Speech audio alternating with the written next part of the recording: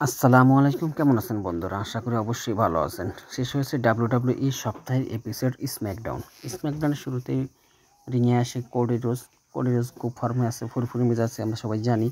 তিনি ভাষণ দিতে থাকেন এবং তিনি কিছুক্ষণ পরে সেখানে ডেকে নেন কেভিন ওয়েন্সকে। কেভিন ওয়েন্সকে ডাকার পরে তিনি বলেন যে, কেভিন, তোমরা দুজন সেমি এবং তুমি মিশে যাও। এবং কি তারপর কিছুক্ষণ পরেই তাকে সেখানে সেমিজিংকে ডাকা হয়। এবং সেখানে বিভিন্ন ধরনের বক বক করতে থাকে, সেমিজিন বলতে থাকে কেভিনান্স বলতে থাকে, না, আমি সেমির সাথে মিশবো না, সে আমার অনেক ক্ষতি করেছে। এবং কি সেমিও বলে যে, না, আমরা এখন মিশে কাজ করি। এইভাবে তাদের ভিতরে তর্ক বিতর্ক চলতে থাকে, এক পর্যায়ে সেখানে, এক পর্যায়ে এইভাবে অনেকক্ষণ ধরে তাদের মধ্যে প্রমো চলতে থাকে। এটা সেটা লেসপেতা বলতেই থাকে তারা। শেষ পর্যন্ত সেখানে তারা দুজনে একত্রিত হয় না কেবিনও সেখান থেকে চলে যায়। এবং কেবিনে চলার পরে সেখানে তাদের ফিটে বেশি যে একটা মিশার সম্ভাবনা ছিল সেটা আর হয় না। যারা চ্যানেলটি সাবস্ক্রাইব করবেন, অবশ্যই যারা চ্যানেলটি সাবস্ক্রাইব করেন, অবশ্যই সাবস্ক্রাইব করবেন এবং পাশে থাকা বেল বাটনটা অবশ্যই বাজিয়ে দেবেন। এরপর যে শুরুতে যে ম্যাচটা হয়, সেখানে ম্যাচটা হয় মিক, এটা হয় মিক্সড ট্যাকটিভ ম্যাচ, যেখানে সেন্টাক এসকোবার এবং কি জেরেনা বেগা তার সাথে থাকে এবং ডোমিনিক মিস্টেরি এবং রিয়া রেপ্লি অবভিয়াসলি থাকবেই।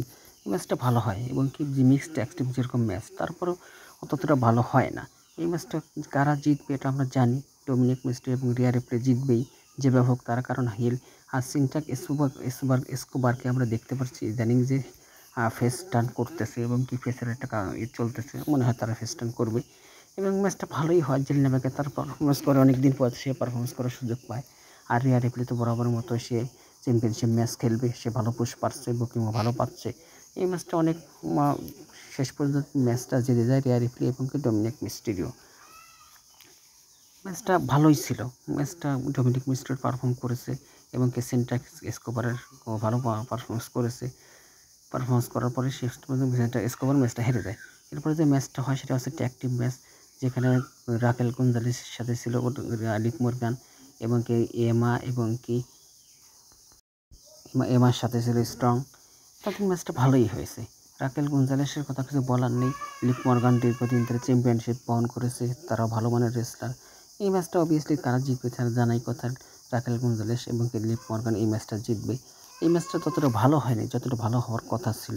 এই ম্যাচটা ততটা লম্বা হয়নি এবং কি ততটা ভালো হয়নি। তাও ম্যাচটা ভালোই হয়েছে। রাকেল গুঞ্জালেস এর পারফর্ম করেছে রিপ মর্গান পারফর্ম করেছে এবং মিয়াও পারফর্ম তারা দুজনের আর পারফরমেন্স করার সুযোগ পেয়েছে তত তারপর এই ম্যাচটা জিতেছে রাকেল গঞ্জালেস এরপর যে ম্যাচটা হয় সেভিয়ার বুট এবং কি এলেনাইট এলেনাইট সম্প্রতি আমরা দেখেছি যে মোটামুটি ভালোই পুষ পারছিল বুকিং পারছিল কিন্তু না, তাকে আবার থামিয়ে দেওয়া হয়েছে।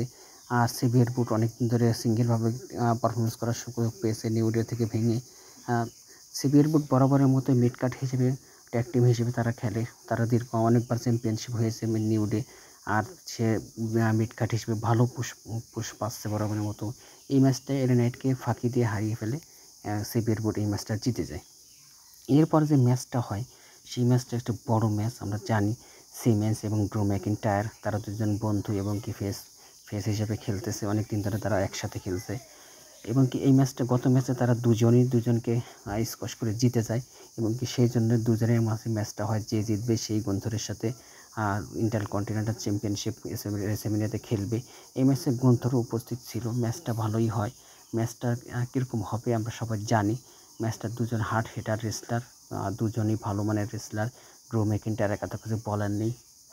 সিমেন্স সে দীর্ঘদিন ধরে ভালো বুকিং পাচ্ছে এবং কি কোম্পানিতে আছে।